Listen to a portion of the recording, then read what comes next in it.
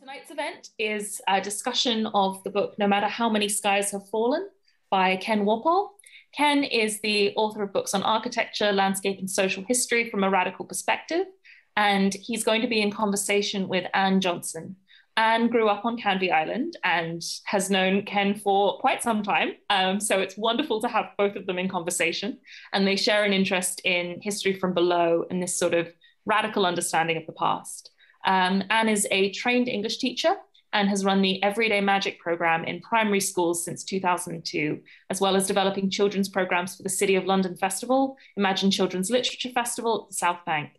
And she's written a book with a fellow storyteller called London Folk Tales for Children, which is published by the History Press and is the author of the forthcoming London River Tales for Children, which will be out next year. There's a Q&A box at the bottom of the screen, and we'd ask for you to put all of your questions in there just to make it easier to keep track of the discussion. But there's also a chat function if you want to just chat with the other people who are here, and I'll post links for things like how to buy the book through our website and that sort of thing. Um, we can't see you. You can ask anonymous questions if you would like, and you can upvote the questions asked by other audience members as well. And with that, um, all of our housekeeping is done. And so I will now hand over to Anne and Ken. Thank you so much. Thank you, Alice. Thank you. Well, I'm del delighted that Ken asked me to introduce him because, as Alice said, we have known each other a very long time. And um, I was very grateful to have met Ken at Centerprise because I had been working as an English teacher in Southall and begun getting my young ones' writings printed out and distributed, but wanted to do more. So I started something called Commonplace Workshop. But when I met Ken at Centerprise, I realized that this could be a much, this could be part of a federation of groups like mine across the country.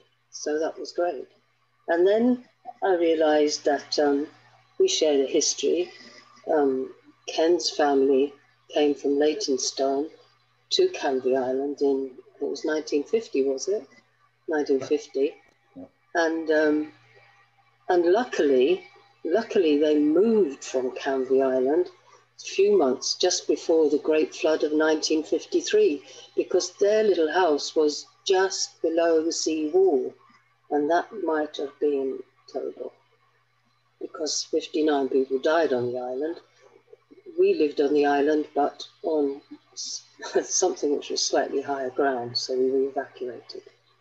So that, that connection between London, East London in particular, and Essex um, is something that Ken's always been always written about. And when he became um, a publish, the, the publishing worker, an oral historian at Centerprise, he he he really focused on that history from down under, from from below rather, history from below, and promoted the poetry and prose of local people, and so the right worker writers and community publishers was founded in 1976, and I was delighted that Commonplace could be part of part of that. And then another collaboration we had was a young teacher, Blair Peach. He worked at a school for delicate children, Phoenix School. And when the National Front marched into Southall, we were there to, to try to stop them. Blair was there also, and he was killed by the Metropolitan Police's Special Patrol Group. And we wanted to remember him, and Blair had always printed, had printed out his young children, his children's writings from the Phoenix School. So we put a selection of them together and put that out as um, what did we call it? Phoenix Dreams. And um, and so the collaborations have continued over the years. But I would um, but I would really like um, to listen now to Ken talking about that symbiotic relationship between East London and Essex, and about those brave people who started the community of Frating Hall Farm, thinking there was a new way, another way to live. They, there was people who'd been through wars. I do remember Doris Lessing writing about her father's death, and she said they should have put on his death certificate, cause of death was the Great War.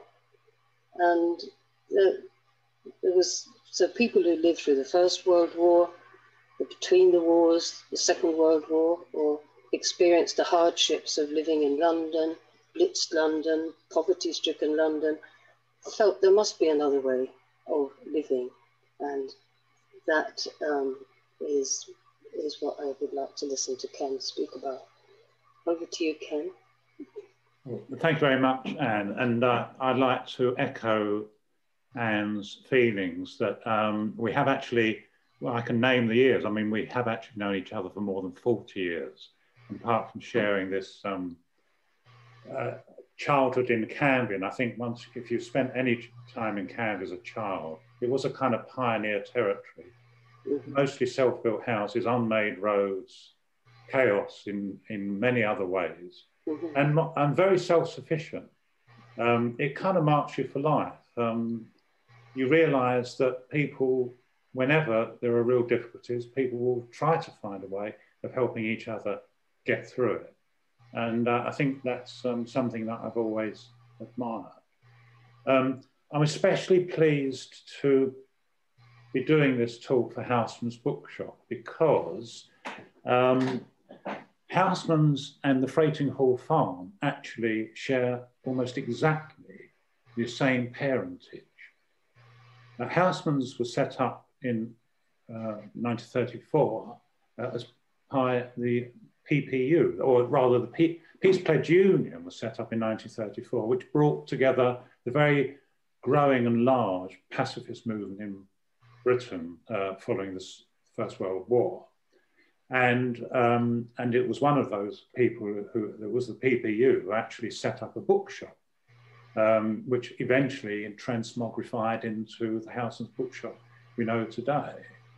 Um, and the other, apart from having both Frating Hall Farm and Housman's having one set of origins in the Peace Pledge Union, the other thing as they shared is they both had Vera Brittain as a director of a um, company limited by guarantee, i.e. a charity. So that, and I, I think that's an astonishing coincidence that Vera Brittain sat both on the, the management of Housman's and she sat on the management of Frating Hall Farm. Now, Frating Hall Farm is the subject of the book, although it takes place within this wider movement, especially in the 1930s, of pacifism and pacifism trying to find a way of establishing a kind of relationship with the wider body politic or with the wider public, not simply by being refuseniks, but by going back to the land as a way of saying we can do we can live other, other ways, we can help people in other ways. We don't have to pick up guns in order to do so. Now, I've always been very interested in alternative communities, and in fact, as Anne said, I mean that's the thing that I've made my major um, uh, major focus of study over the last 20 years. I suppose possibly I, this began on Canvey Island, which um, had several very eccentric places uh, where, where, people from the East End, poor people from the East End, could go and stay to recuperate. One was called Hotel Ozonia, which was a teetotal hotel, a very strange kind of fairy land uh, building designed by a Swedenborgian architect whose uh, bedroom walls were decorated with paintings showing the perils of alcohol, with snakes writhing around the bedhead. Um, and the other place was the Girls' Bungalow, set up by a woman trade unionist in London for young women in the rag trade in London to go and have a holiday by the sea. And there are lovely old photographs of that bungalow with its very extensive veranda set in an orchard. And the young women are there looking a bit like a scene from a Chekhov play. They're all wearing long dresses. But that kind of connection between the poverty of East London and the desire for social reform all extended endlessly into Essex, whether through the form of land colonies, whether it was the Salvation Army, whether it was the West Ham Methodist Church, whether it was other or political anarchist groups. There's always been that relationship between radical ideas in London and them being able to find a place in the slightly more remoter coastal areas or riparian river, riverside or estuary areas of the county of Essex, which is often much maligned but has an extensive and rather wonderful uh, set of places where you can really hide away from the world. I'm also grateful to uh, the bookshop, Housman's, because just uh, five weeks ago, a good friend of mine, the broadcasting historian Andrew Whitehead, presented me with this book. It's called Community in Britain, and it tells the story of the 1930s pacifist movement and its communities. And he bought it secondhand in Housman's five weeks ago on the bargain shelf. And that's another good reason for always going to Housman's because they have fantastic uh, old left-wing bookshops or radical bookshops or anarchist book, books, books um, which you can always find something really interesting. So the, my, my particular interest in the Frating story started when I contributed an essay to uh, a book called Radical Essex. And again, I'm going to show it there, it's there. Uh, and Radical Essex was based on an exhibition um, at a gallery, um, Focal Point Gallery in Southend in 2017, which collected the history of all, many kinds of radical innovations in County of Essex in the 20th century, whether it's welfare reform, whether it's the artistic side, whether it's back to the land or whatever.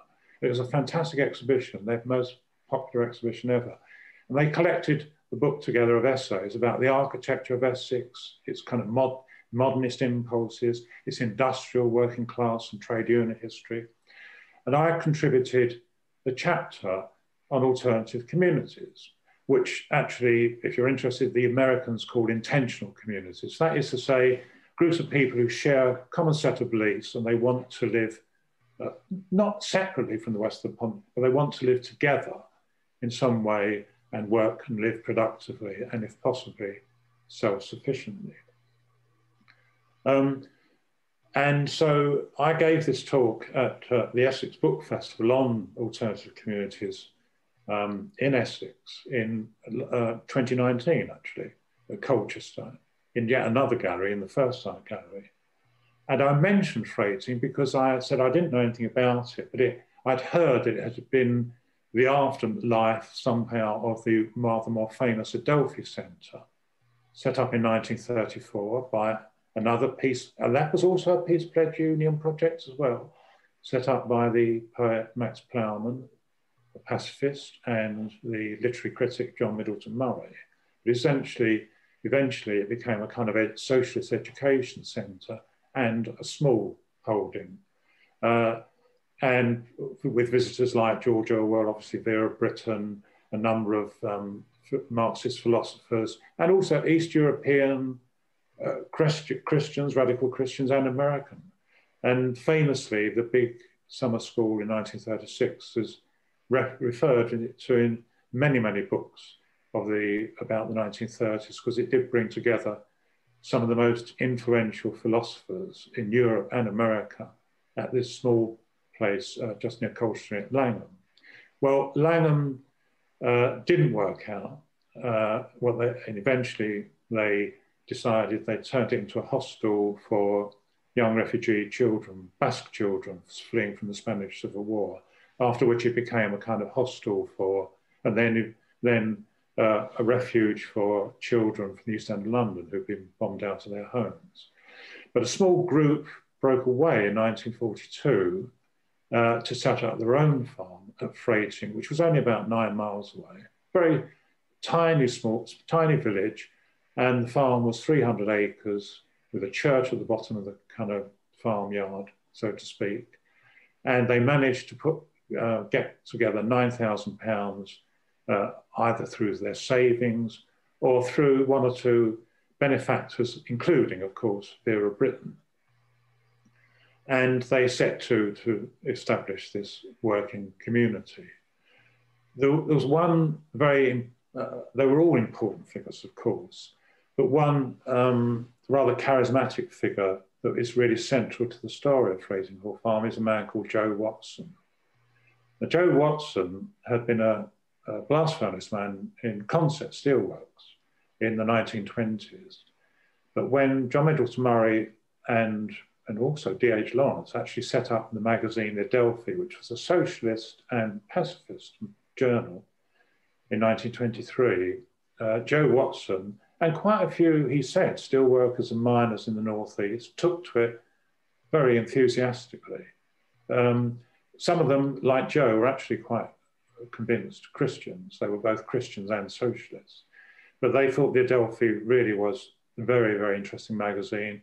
And it, it, was a, it was very much embodying these ideas that there is a better and new life to come.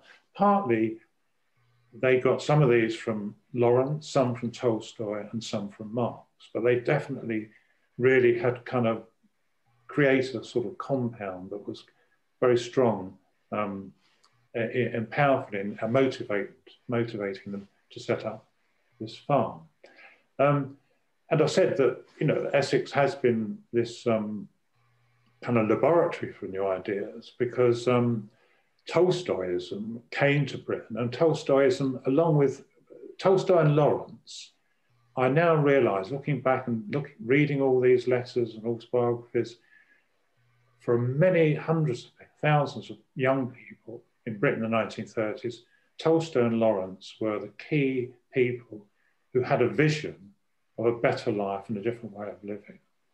Um, and it's interesting that Tolstoy, Tolstoyism arrived actually in Britain through another small farm in Essex at Purleigh in the 80s. Came over from Russia and set up a commune there uh, to promote Tolstoyan ideas. So the farm, Joe Watson, as I say, he'd left school at 12, he was self-educated, he actually ran a Shakespeare reading group at the Consett Steelworks uh, in his life.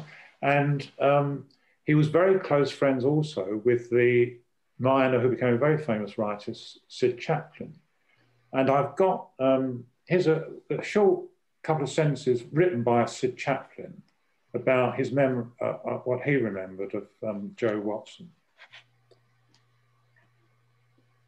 J.H. Watson was born at Wallsend on Tyne in 1902 and left school at 12.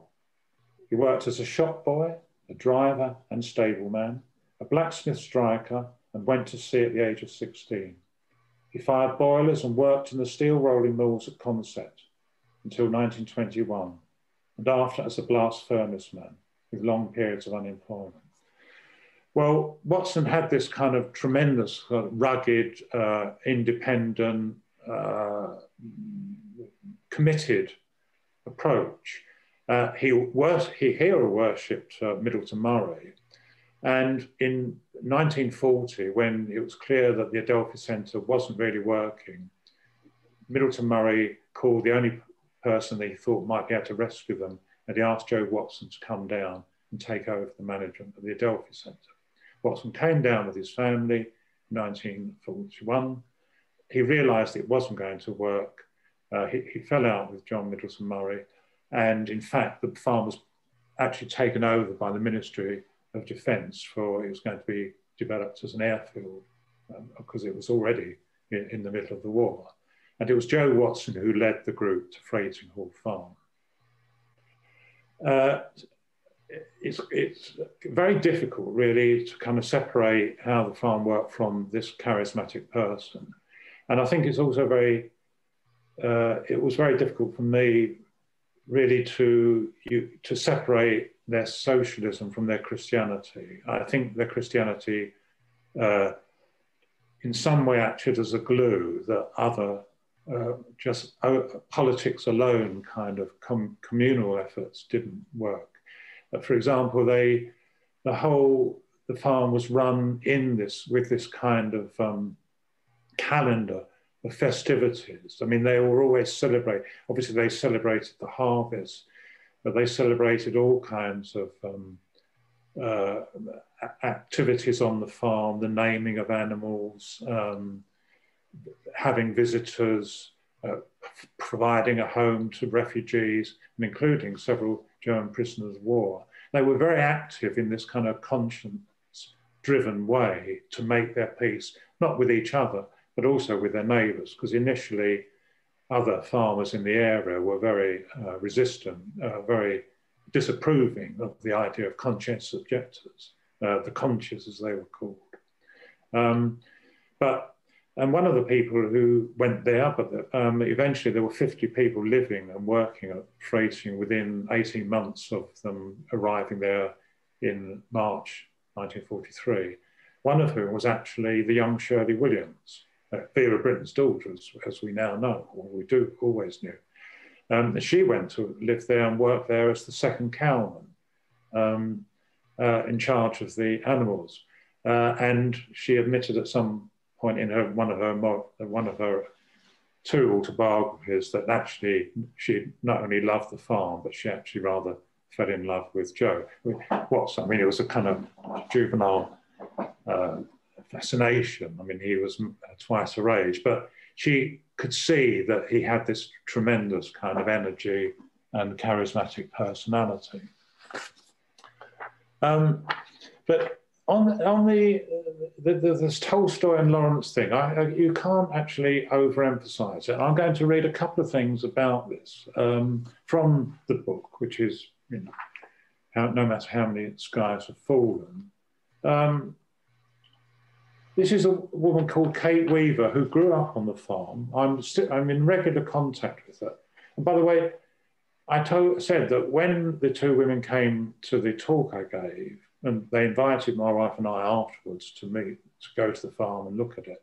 But then they put me in touch with about a dozen people who'd grown up on the farm. And one by one, I traced them and interviewed them all. So the book is actually a composite of all their recorded memories, the letters they lent me, the photographs they lent me or shared with me. And so, to kind of, as Anne was saying, I mean, we were, you know, in the 70s, we became very excited about the notion of oral history and writing and producing history from below. And in a way, in this kind of rather late period of my life, I've gone back to that and find it even more exciting than ever. Simply recording people, you know, how they've interpreted their lives in the world seems to me tremendously powerful way of documenting what's going on in the world. So, uh, Kate Weaver um, was a, a young girl, and she said, um, while I was at, still at school, um, I became very interested in the background of Frating, uh, where her parents had actually given birth to her and brought her up, to try and make sense of who my father was. So I asked him various questions, and he gave me a list of books which led me to D.H. Lawrence and Tolstoy. He did it in a very subtle way. He gave me the letters D.H. Lawrence when I was ill on holiday once. I was only about 12 or 13. And this was a way of saying you can write letters in a different way. So I read an awful lot of Lawrence. Now, we unfortunately, Lawrence's reputation has been besmirched for, from various angles, and people think that he's just, you know, he's just someone completely obsessed with sex.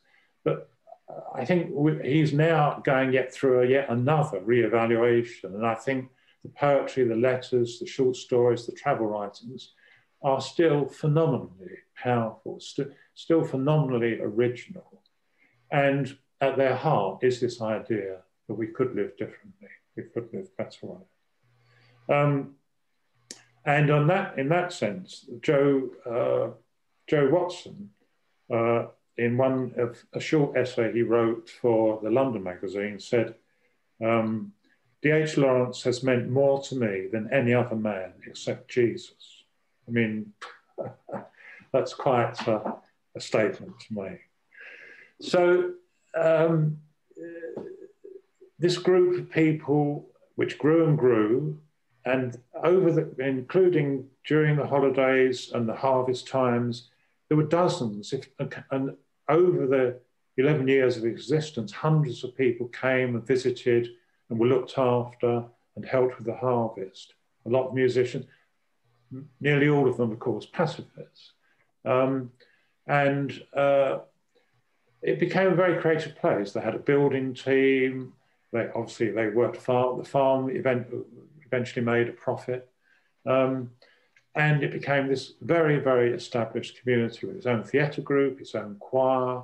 It plays in the barn, and it was a really um, very impressive kind of achievement. But these things don't last forever, and in 1954 some people wanted to leave. Uh, their children had grown up, perhaps, but they realised they couldn't leave because having put money into it, they, the only way they could get the money back was if the farm was sold. And this created a real, well, it's a, undercapitalisation, really, right from the beginning. They just didn't have any spare money. And the only way the farm could be rescued was if someone bought it out. And luckily, one of the people there had enough money. He was a Quaker with uh, family money, and he bought the farm, which he then bequeathed to his stepson, uh, who uh, arrived at the age of four and is still there um, 73 years later running the farm. And it's because the farm has stayed in the hands of one of the original people there and who, who've stayed true to its memory. I mean, that's the great thing they're enormously proud of what their wonderful history of Frating Park. So when they invited me to tea and showed me these things, it wasn't they were embarrassed about this radical history. They were just so proud. And all the people I spoke to were so proud of what their parents had done. So I'm going to read two short little extracts um, now. One is from one of the visitors, a woman called Mary Duncan. And uh, she worked, she lived in Blackpool. She was a pacifist and she used to come every summer to Frating. And she wrote me this letter uh, about her memories of it. And she's 93, by the way. I suppose the first thing to be said about Frating was the sense of freedom. It was everything that Blackpool was not empty, peaceful, pretty. I love the old farmhouse, which in my memory was not very near to any other habitations, and it conveyed a sense of space everywhere. The days were full of variety, and variety in that context is an aspect of freedom. The main job was to bring in the harvest, building the sheaves into stooks as they were thrown out of the binder, all this done by hand, of course, in those days. Um, in all this, there was a lot of tomfoolery and a sense of working on the harvest field together. I do not remember any serious quarrelling. There were arguments and disagreements about work, say, or at table about belief systems, convictions, or other people. Folk could be trying, even critical, but always interesting. United in their attitude to war, they were free to be themselves in community. There were spats and fallouts among us, but in our leisure hours, harmony prevailed. We used to sit together in the drawing room if nothing else was going on, reading our books, George Orwell, Herbert Read, Reinhold Niebuhr, or something a bit lighter. This is a rather rosy account, and as I was only around in the summer, an incomplete one. But I remember a sense of family, a connectedness of people, which was a fundamental aspect of the community. People who were thoughtful, responsible, caring, often merry but all of them, as I recall, were serious people, people of conviction and humanity. And I'll just show just a few slides so you can get a picture of Frating Hall Farm between 1943 and 1954.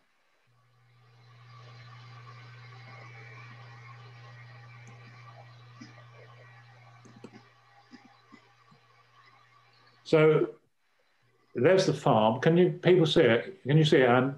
Yes, I can. Yeah. Good. Yes. Yeah. Uh, so that's that was taken about 1948, and that little boy there standing looking at the hay wagon is Martin Thomas, who is still there uh, 74 years later. Wow. That was the building that the Adelphi Centre used, which was bought by the Peace Pledge Union um, in 1934, actually It was an old mansion house, and it was intended to become an education centre uh, and a, and a self-sufficient smallholding. Uh, that didn't quite work. But as I say, uh, in 1937, they made it available to refugee Basque children being from the Spanish Civil War. Then it became a place of uh, evacuees or refugees from the Blitz. And then it was sold to the Ministry of Defence. And Frating here is on the map. It's uh, near Colchester, between Colchester and the sea. It's a tiny village.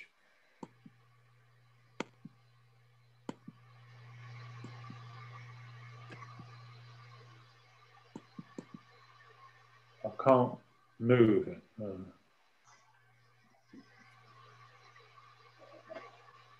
Uh, I can, yeah.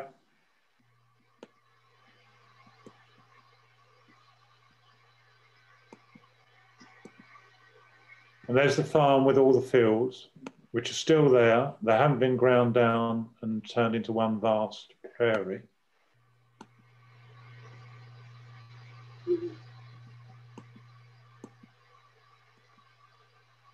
There are some people on the sorting out the potatoes. And there's the church in the background, which stands at the edge of the farm. There are all the children of Frating, and at least um, seven of those I've interviewed are still alive and I've interviewed them. That's the farm from the rear, and that's the big, oh, that's the Frating Hall to the right. And there are the cows that um, Shirley Williams looked after. And that is Shirley Williams on the left of the potato planter. And on the right is a woman called Helen Johnson, She's this picture is on the cover of the book, and um, five weeks ago, I, I had an email from a man saying, "I bought your book, and by the way, that I that's my mother on the cover." Mm-hmm. And he said, um, "I've got 14 letters that she wrote while she was at Frating to her fiance. Would you like?" Them?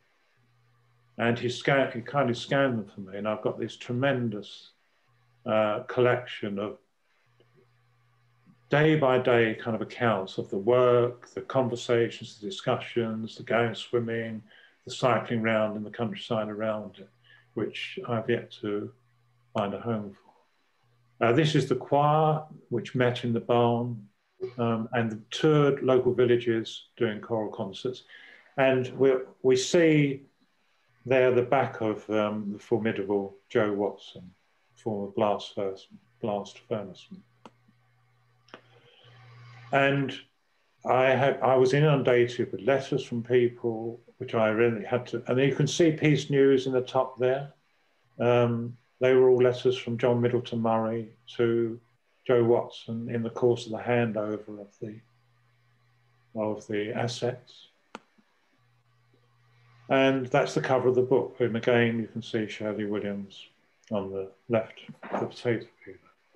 And it was, a, in my way, a feeling of a long-standing debt I owe to the wonderful historian who was at Ruskin College in Oxford, Raph Samuel, who in the early 1970s created the history workshop movement, which kind of radicalized and energized lots of us teachers to get back to um, the source of where all knowledge comes from, the people. So that, thank you very much. Um, I hope we can, there may be things we can discuss on that basis. Yes, definitely. Yes.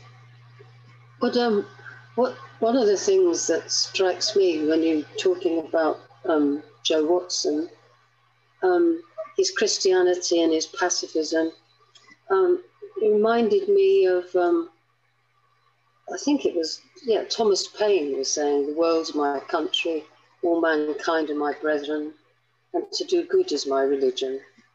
And um, it, so the people that were Frating, it, it wasn't so much, it didn't matter too much what their belief was, it's how, what they did, wasn't it?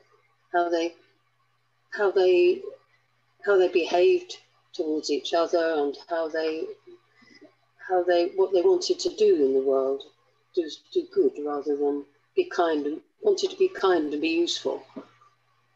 That's right. I mean, um, and it's interesting that this goes back to what the, when what the pacifists realised that if they weren't to just simply look as though they were uh, refuseniks, so mm. to speak, they would do they would do something different, which was and the, and there's quite a lot of writing now coming together about the extent of what people might call um, the relationship between pacifism and agrarianism in the 1930s. There were dozens, if not hundreds, of rural agricultural projects established by pacifists in the 1930s. And in fact, the, the, um, the actor Jim Broadbent grew up on one that was actually related to the Adelphi Centre. Oh, he, he grew up on one in Lincolnshire. Uh, but you're right. You see, um, they also were a lot of them. To, uh, the, the, Adelphi Centre, the Adelphi magazine, rather. That's very important. It was a very powerful educational influence. It was bringing ideas from Russian Christians like uh, Nikolai Berdyaev. It was bringing the writings of people like Martin Buber, sort of Jewish existentialist uh, writer, and obviously always there were Lawrence and Tolstoy. Mm-hmm. And this, um, this notion of the new life mm-hmm. uh, is so powerful in, in this period. And I think it, I kind of, I think that when I think that, you know, if you like, that the title of the book, by the way, comes from the opening paragraph of um, Lady Chatterley's Lover, mm-hmm. uh, which is interesting, um, uh, which is this, and um, our, this is, uh, ours is essentially a tragic age, so we refuse to take it tragically. The cataclysm has happened. This is, of course, written after the First World War. We are among the ruins. We start to build up new little habitats, to have new little hopes. It is rather hard work. There is no now, no smooth road into the future, but we go round, or rather scramble over the obstacles. We've got to live, no matter how many skies have fallen. And in fact, one of the chapters, the first chapter of that uh, Lady Chatterley is called The New Life. Mm-hmm. And this is a powerful kind of organizing idea. And I reflect at the end of the book that, you know, before the war, there's Lady Chatterley, there's Lawrence, and then after the war, there's Orwell and 1984.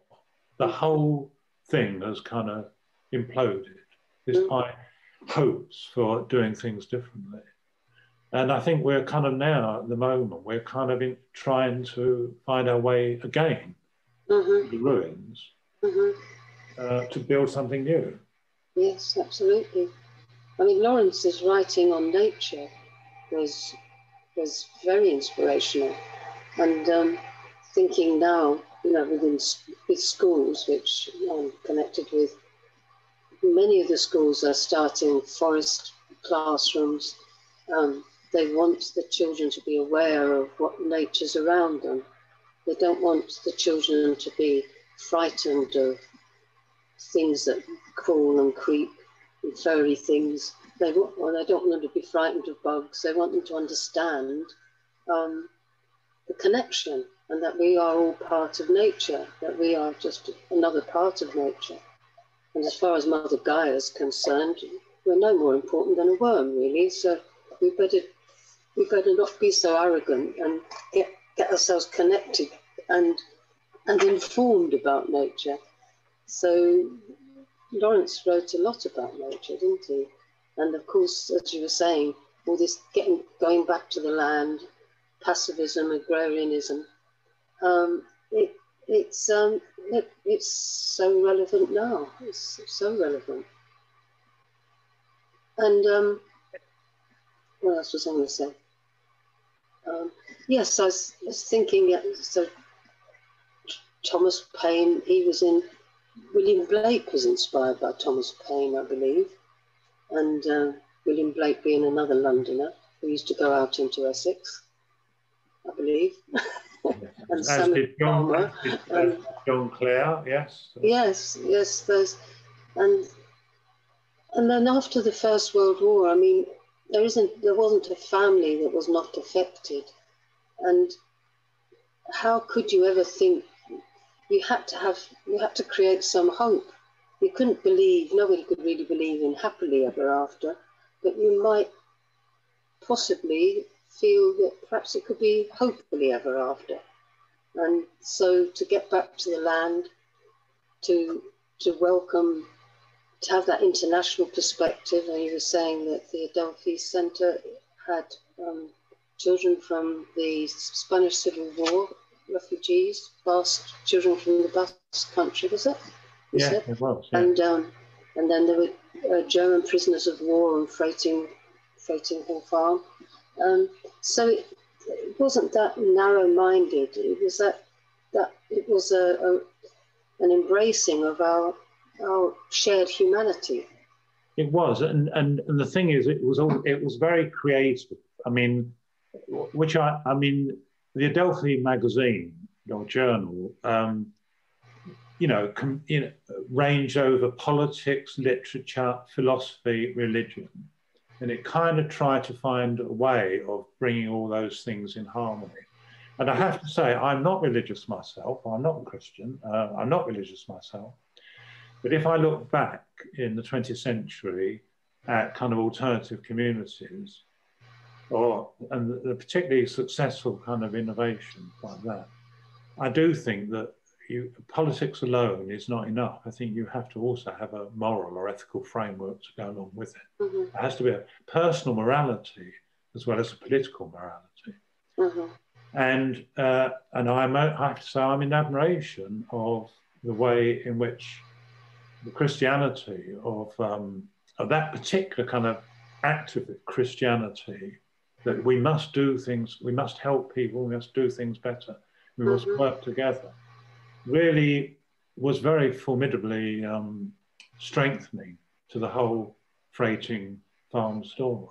Mm-hmm. Um, and uh, and and it's also true, I think, of, of um, uh, if you look at the Christian socialism, someone like George Lansbury. I mean, he also was very involved in a number of land colonies, putting unemployed people uh, out from Poplar or the East End into kind of three month, six month breaks in the country. I mean, it was hard work, but uh, uh, and then of course the plot lands.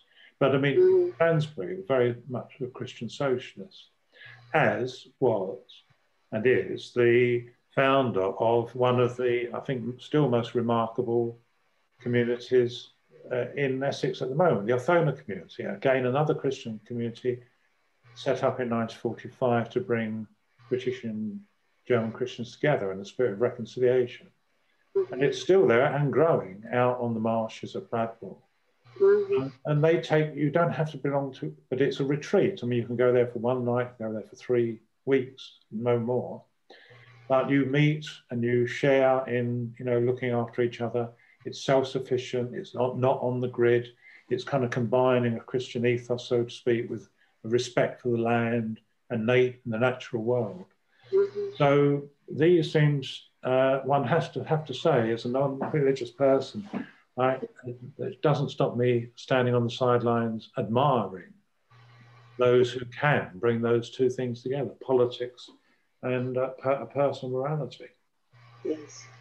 Well, um, I mean, one could you, you could say that, that what Joe Watson said uh, D.H. Lawrence was his favourite person after Jesus. but um, I mean, if you the life of Jesus, it is when I was I was brought up a Catholic. I'm not a Catholic now. I left the church, but um, the life of Jesus was inspirational, but the institution of the church was not.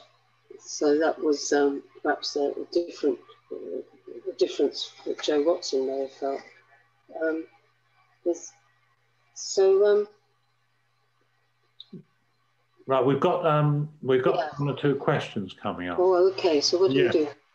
Um, someone says that uh, would it be Ken to write the name of the existing community in the chat room? Uh, well, I think uh, the one I'm talking about is the um, Frating Hall Farm. And then the one I've just mentioned, the new one, is the Othona community. Oh, sorry, it's it's it's um predicted predicted Athena, not Athona. Typical predictive text.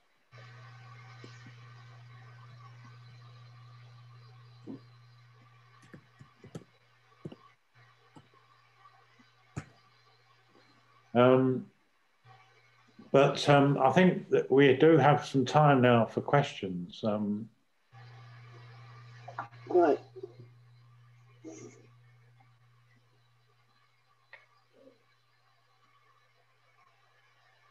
Do we have any?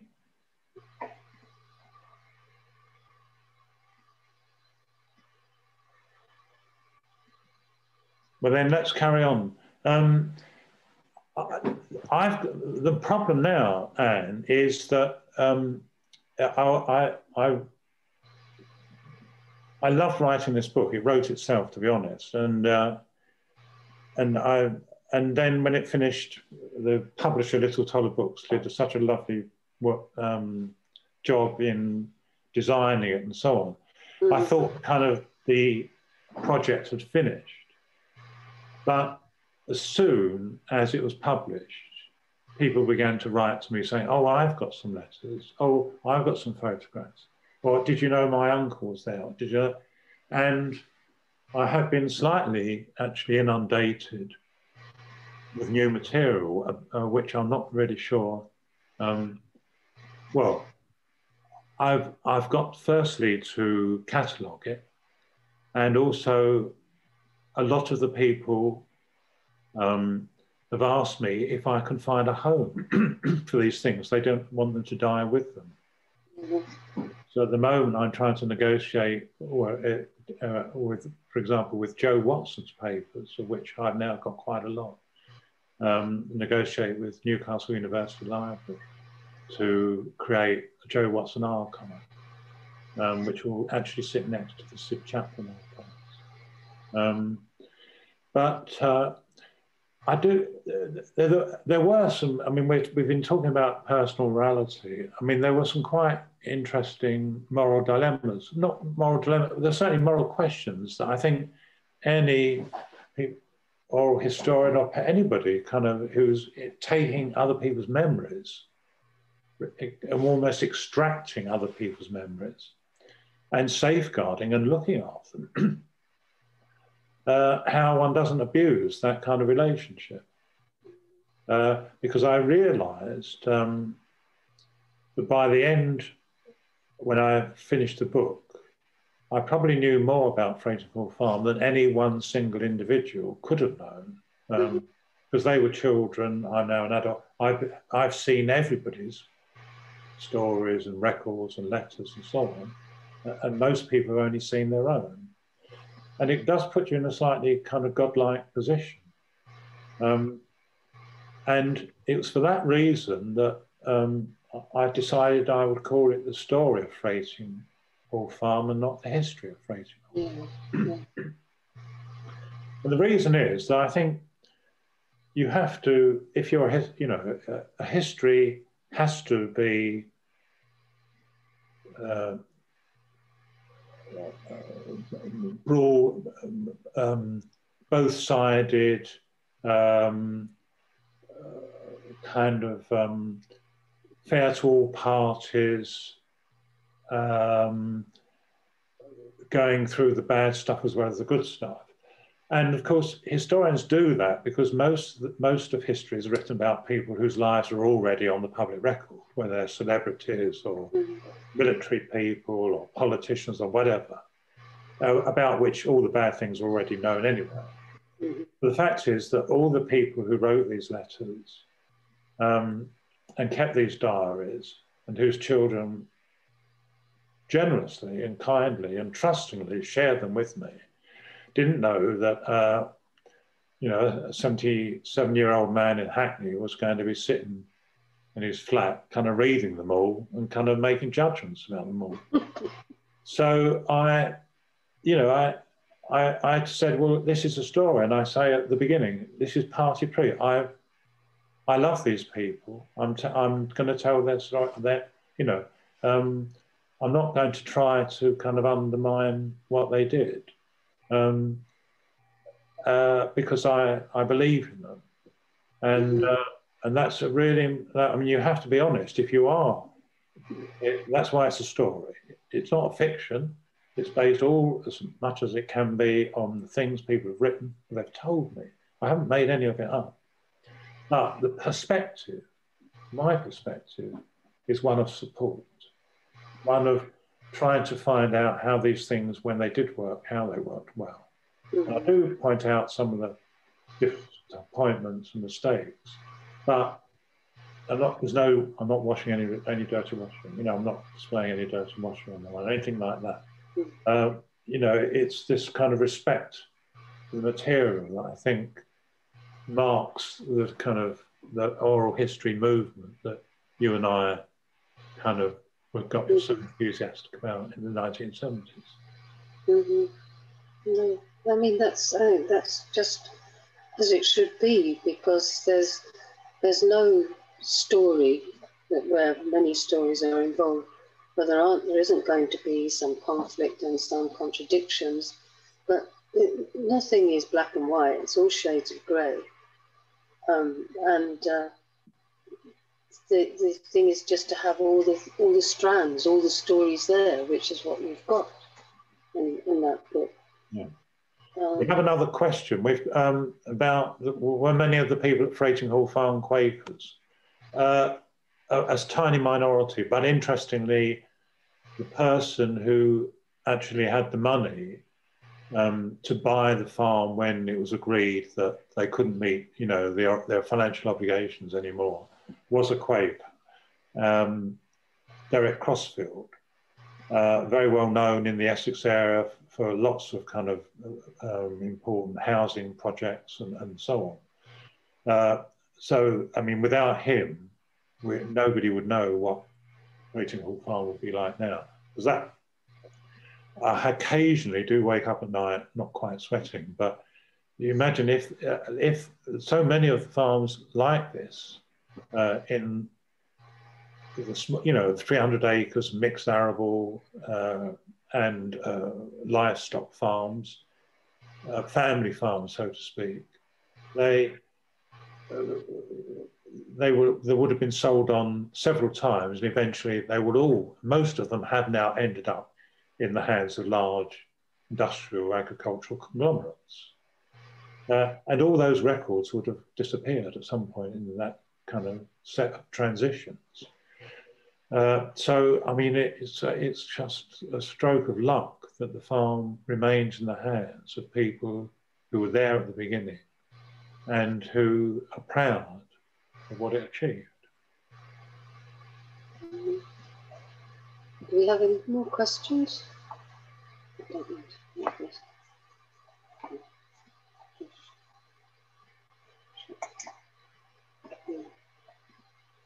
Oh no, you answered that one.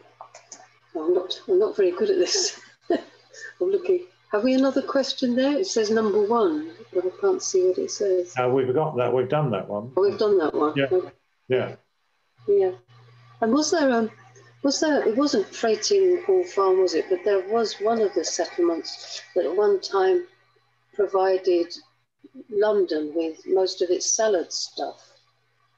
Um, oh yes, the well, that, again that was part that. Now that was a Quaker initiative. Okay. Um, uh, in uh, the Quakers after the First World War set up a kind of smallholding schemes around the country, and um, this inspired an organisation called the Land Settlement Association, oh, yes. which in 1932. Uh, that was set up in 1932, and one of their largest areas of activity was uh, near um, near Manningtree, around um, Ardleigh. And you can still see quite a lot of um, remains of glass houses um, and vegetable beds and flower beds and all sorts of things and, and outbuildings. But at one time, uh, I believe I was told that you know something like seventy percent of London's salad stuffs came from that corner of Essex. Um, so, yeah, I mean, and there are new initiatives in Essex and um, uh, uh, uh running, you know, kind of small holding providing food to farmers markets in London. That are, that's a growing kind of area of um, mm. agricultural provision.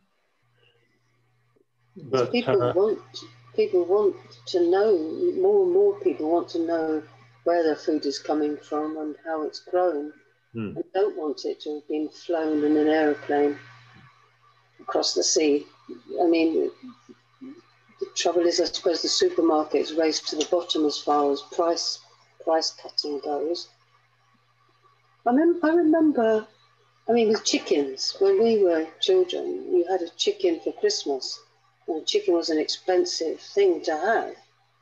Um, you didn't have chicken all the time. And now we know what happens to most chickens. Is it, well, it's horrible. Um, so, is this perhaps beginning of a, of a, a more decent way of treating our animals and eating more? Is it not? Perhaps it could spread from just farmers markets. I don't know. Well, again, again, Frating kind of was ahead of its time. They, um, they, uh, the, some of the cows were named after characters. They had names. They were named after characters in what, Tolstoy's War and Peace, from Tolstoy's War and Peace. and one woman told me that um, she just passed her 11th, well, whatever, however she got to Colchester Grammar School for girls, and uh, which was is pretty, you know, um, posh. Mm-hmm. And um, and about on the third day, she came into the class, the girls' class, and was very excited. And she told the girls, you know, they've just named a cow after me. And the other girls kind of looked horrified, like, why would anybody want a cow named after you? But um, the animals were, you know, retreated, treated with respect. Uh, yeah. Again, that was part of that kind of, I suppose, that comes as much from the Christian ethos towards, well, uh, one version of a Christian ethos towards yes. the, um, yes. the animal world. Uh, yeah. Uh, not all. Um, I mean, that's a, that is, of course, one of the, the dilemmas of the Christian uh, tradition on, on the environment. It is that uh, for us too long, it's held that man is the master of all. You know, yes, uh, yes. holds everything in his hand, and uh, yes. Uh, and that's it. Never rec- was able to recognise that man is just one amongst animals. Yes. Um, I'm keen that if we don't have any more questions, um, yes. we should uh, begin to think about um, closing up. Uh, yes. We'd be love to have more questions, but um, if we can't, then. No, we haven't. We haven't. No, no. I don't think we have, Ken. So shall we close down? We ask Alice to um, kind of um, help us come uh, to conclude this. Yes. There you are, Alice. Great Hello, Alice. Hello. Hello. Thank you so much for such a lovely discussion. And I'm glad that we did have some questions and some comments from the audience. Um, I hope everyone really enjoyed themselves. I have put a link in the chat um, to find out more about what we're doing at Housman's and a link to Ken's book that you can buy through our online store. But mostly, I'm just really, really grateful to both of you for joining us tonight. And thank you so much for having a wonderful conversation and letting us witness it. Yeah, well, thank you very much. Yeah, and thanks to Housman's. And uh, yeah, it was great to remember that we both share the same parents. Yeah, Frating and Housman's. Yeah. Absolutely. Okay. Thank you. Thank you. But Bye. no. Bye.